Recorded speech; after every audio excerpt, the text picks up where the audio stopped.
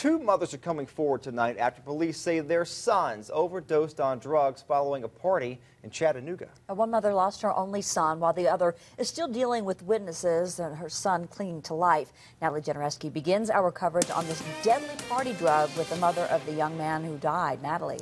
Kim, Josh, good evening. Robert Allen died Saturday after police believe he took ecstasy at a party. Tonight, his mother is searching for answers, desperate to find out who gave her son those drugs. I get up every morning thinking that he's gonna walk in that door and kiss me and tell me he loves me. I'm not okay. I'm never gonna be okay. Never. Bridgette Allen says her son was her rock, and now the man who kept this widow from falling apart is the one who's the source of her tears. My son didn't make it, and I need some answers. Why all the other kids made it out, but my son did not make it out. Robert had two children, a two year old girl and a four month old boy.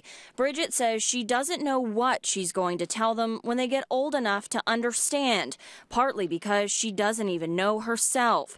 She doesn't know where the drugs came from, who gave it to her son, and even if he willingly took it. Robert's cousin, Crystal, says answers are what they need now so that Robert can rest in peace somebody need to step in. We need more answers from the police department. They feel like, hey, these little kids, I hate to say this, because we African American, they feel like it's just another person gone in closed case.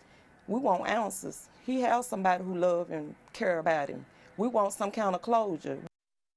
John P. Franklin Funeral Home is handling funeral arrangements for Robert. They will be held throughout this coming weekend. Kim, Josh, back to you. Natalie, thank you very much for that story.